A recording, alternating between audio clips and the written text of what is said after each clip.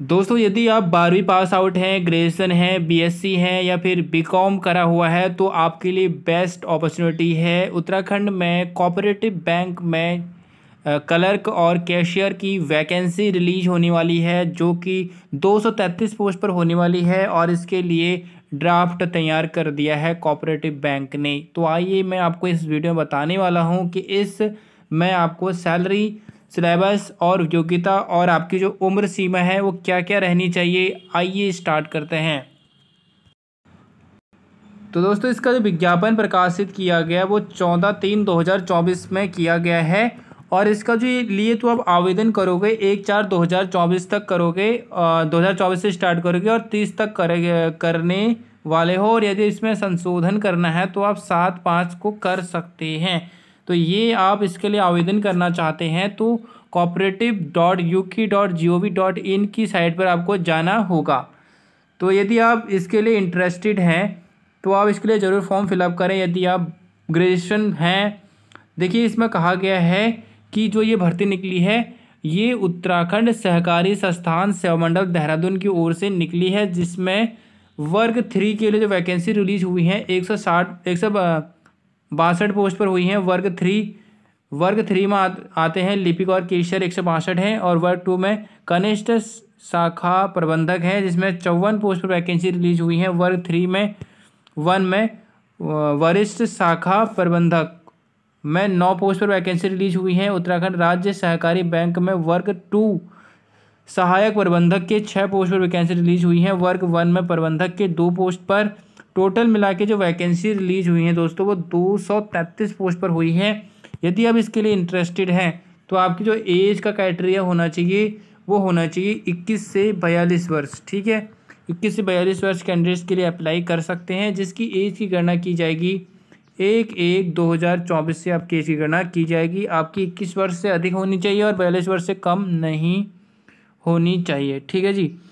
इसके लिए आप तीस चार दो हज़ार चौबीस तक आवेदन कर सकते हैं। अप्रैल से इसके लिए आप आवेदन कर सकते हैं। यदि हम बात करते हैं, इसके लिए जो है योग्यता यानी क्वालिफ़िकेशन क्या रहनी चाहिए? आपका ग्रेजुएशन कंप्लीट हो कंप्लीट होना चाहिए। यदि आप क्लर्क और कैशियर के लिए आवेदन करना चाहते हैं प्लस में आपके पास सिक्स मंथ का यहाँ पे क्या होना चाहिए? सर्टिफिकेट होना चाहिए। सिक्स मंथ का सर्टिफिकेट होना चाहिए कंप्यूटर का। ठीक है जी?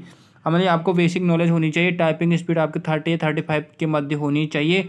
और यदि हम बात करें डिप्टी मैनेजर जो वर्ग टू थ्री के लिए हैं तो उसके लिए आपके पास जो है ग्रेजुएशन प्लस क्या होना चाहिए?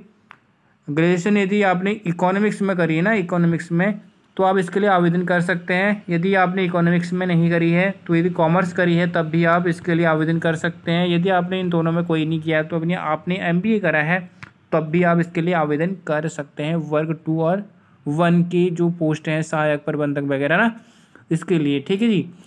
अब देखिए, यदि आप इसके लिए आवेदन करना चाहते हैं तो इसका एक सिलेबस बनाया गया है। सिलेबस में क्या है कि, सिलेबस, एक बार मैं आपको बता देता हूँ सिलेबस के बारे में। डिटेल जो है, इसका जब नोटिफिकेशन आएगा, मैं आपको समझा दूँगा तरीके से, क्योंकि इसका जो सिलेबस आएगा, वो आपको एक चार, यानी आपका थर्टी वन मार्च को आपका देखने को मिलेगा। सिलेबस की बात करें तो रीजनिंग इसमें रहेगा।